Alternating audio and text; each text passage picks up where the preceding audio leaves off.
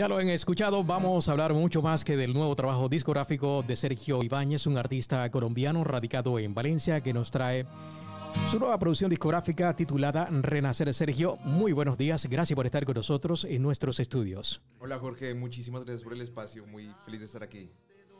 Hablemos acerca de esta canción antes de dar paso a tu nueva producción discográfica.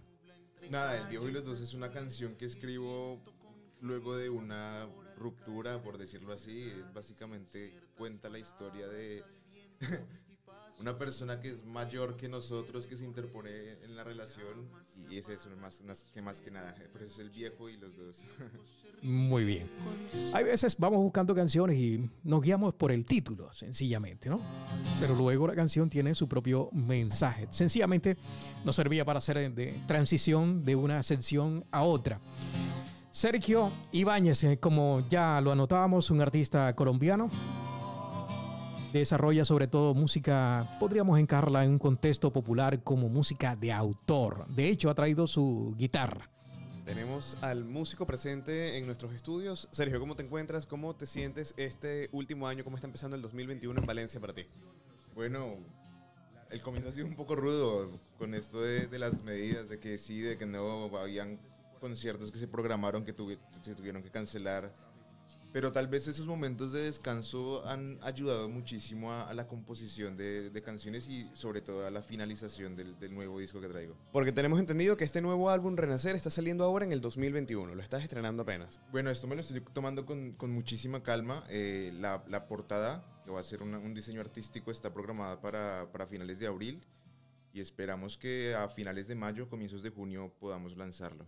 Estamos haciendo un abreboca de lo que será el tercer trabajo discográfico de Sergio Ibáñez, quien ya tiene más de un año viviendo en la ciudad de Valencia. Desde el año 2020 estás acá. Sí, llegué en diciembre del 2019. En diciembre del 2019, prepandemia. sí. Carlos, empezamos a escuchar ya el repertorio del más reciente trabajo discográfico de Sergio Ibáñez, Renacer. El primer corte que estamos escuchando lleva por título Adiós te abandono con dolor. Soñaba verte libre alguna vez. Debo comenzar sin ti, sin quererlo debo No es que quiera estropear la experiencia de escuchar la canción íntegramente, que ya habrá tiempo para ello, sino que queremos aprovechar la presencia de Sergio y ese enorme detalle que ha tenido con nuestros oyentes de compartir este álbum de manera anticipada, un preestreno, ya lo decía Carlos Angulo. Sergio, hablemos de la canción Adiós. Adiós, cada canción tiene un seudónimo a excepción de la última. Esta es Adiós, el viaje. Curiosamente es la primera canción del disco, pero es la última que escribo porque sentía que le hacía falta algo. Es un disco conceptual en el que cada canción va conectada con la siguiente. Entonces Adiós cuenta el momento exacto en el que estoy en el aeropuerto y salgo de mi país. Hay gente que puede interpretarla como la partida con, con un amor, con una persona, pero esta es básicamente la partida de, de, de mí con mi ciudad. La importancia de los álbumes conceptuales es algo que no están visto hoy día, digamos, en el resto de los géneros, pero en el género de la balada se presta mucho. Tienes que escuchar las canciones en orden.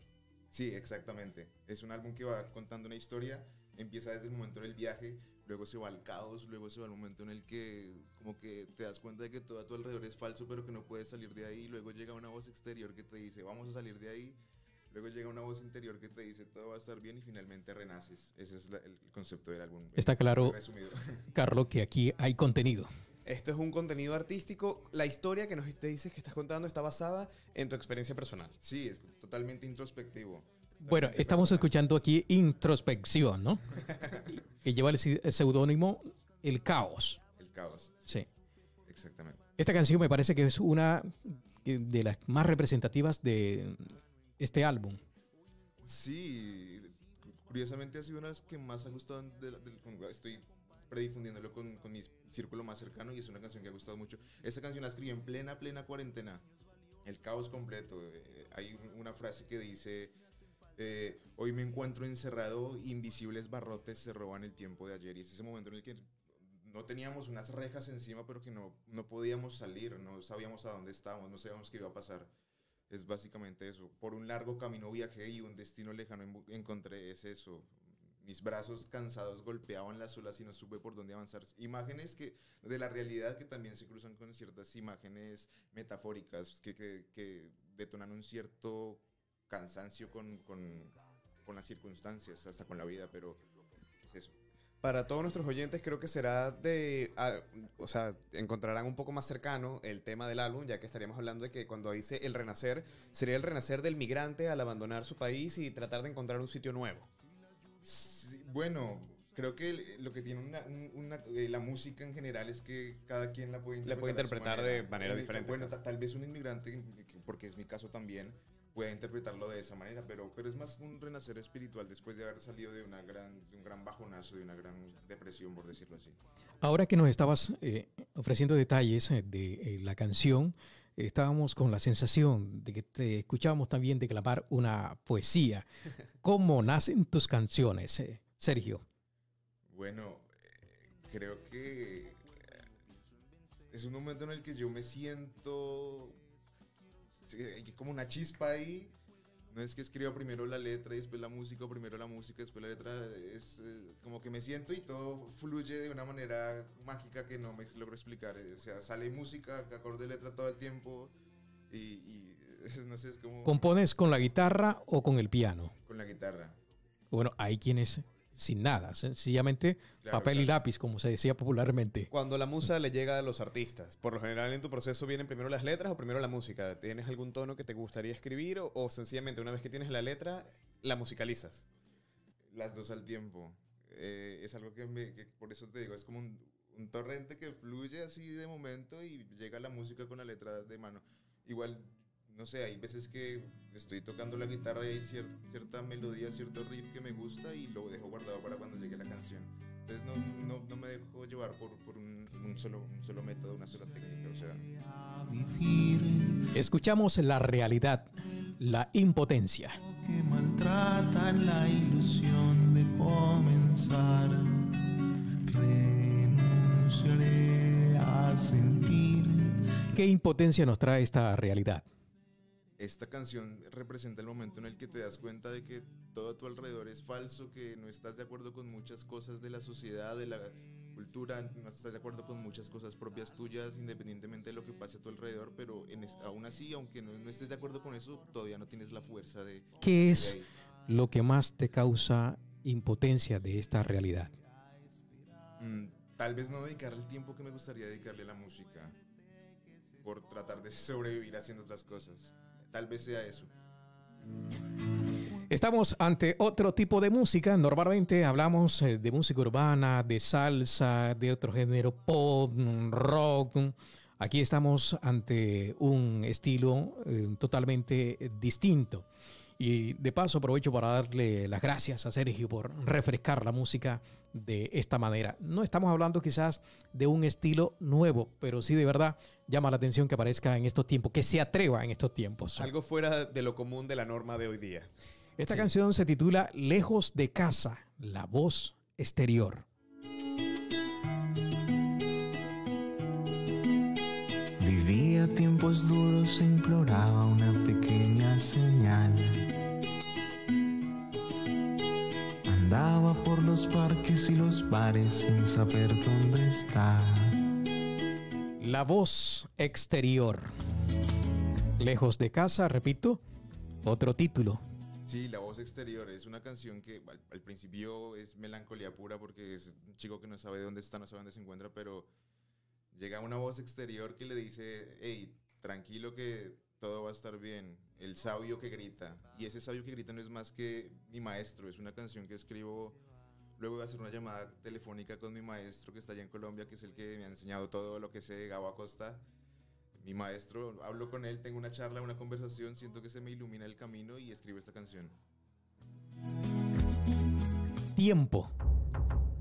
La voz interior. Esta es la voz interior. Apuntamos a una reflexión. Aunque si de algo están encargadas las canciones de Sergio, por lo que hemos escuchado, es de mucha reflexión.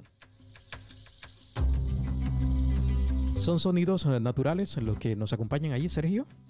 Y los acordes de la guitarra. ¿Cuáles son esos sonidos naturales? El- bueno, la guitarra, el bajo, el palo de agua, que es el que suena por ahí, Ajá. el reloj Sí. y los, los tambores, estos sí son producción de lo que hago cuando las produzco. Qué bien. esplendor. Debo decir que Sergio nos ha traído un total de seis canciones, Carlos, lo que tengo aquí, ¿no? Me parece bastante, de todas formas. ¿eh? Seis canciones que son lo que presentan su nuevo álbum Renacer, que por lo que tengo entendido, Sergio, para todos aquellos que te puedan ver a través de tus redes sociales, también vas a tener próximamente una presentación donde podemos disfrutar de esos temas en vivo. Sí, Háblanos este- un poco de esa presentación. Pienso, e- ese día pienso presentar el álbum por completo de principio a fin, con canciones de los dos discos anteriores, pero sí pienso mostrar esa continuidad del- del álbum. Va a ser en el, en el Volander el 9 de abril a las, a las 17, a las 5 de la tarde. A las 5 de la tarde, ¿cómo están siendo las presentaciones ahora en la situación de pandemia? Explícale un poco a nuestros oyentes, a los que están viendo en este momento, de cómo están funcionando los conciertos en Bueno, esta situación. Los conciertos virtuales o est- estés en directo. O Este es con en poco aforo. O las dos Este- cosas. Este es presencial, pero es con muy poco aforo y toca hacer unas reservas anticipadas para, porque el aforo es muy limitado. ¿Y cómo pueden... Te vas a presentar concretamente en Valencia? Sí, en el Volander. ¿Cómo la verdad- podrían hacer la reserva? Sí. Las reservas en mi Instagram, Serg Ivanes Music, Music o Music, como quieran, eh, o al 610 97 80 38. Carlos, esto es lo que se denomina café concierto, más o menos, ¿no? Sí, Exactamente. En esta época A mí me gusta mucho. de poco aforo, ya sabes cuál es el plan para el próximo 9 de abril, nos dijiste, en el 9 Volander. de abril. 9 de abril en 9 el de Volander. abril. Si van al Instagram de Sergio Ibáñez, aparte, repítenos el usuario. Serg con G, Ivanes con Z, Music. music. Eh, Queremos aprovechar eh, tu presencia aquí en los estudios y que has traído la guitarra precisamente para que nos interpretes algo. Yo sé que esa guitarra no te acompaña eh, de lujo. De gratis, como quien dice. Sí. Así que guitarra en mano, en directo, para los siguientes del Café Mañanero y el programa Gente Latina, televisión. Se pone Sergio Ibáñez, manos a la obra. Y vamos a escuchar cómo se titula la canción que vas a interpretar. Vamos con Lejos de Casa. la voz Lejos de casa. Sí. Vale.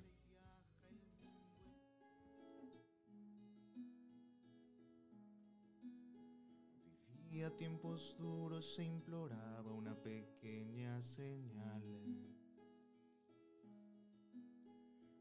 Andaba por los parques y los fares sin saber dónde estar.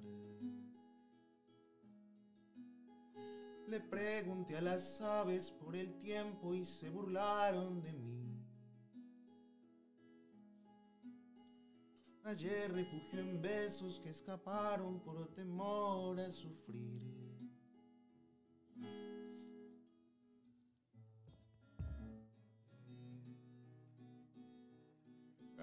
Sabio viejo gritar que todos los problemas más absurdos guardan una razón. Que es noble la batalla cuando el fin es aprender a esperar. Que a veces quien más habla y más promete suele ser un traidor.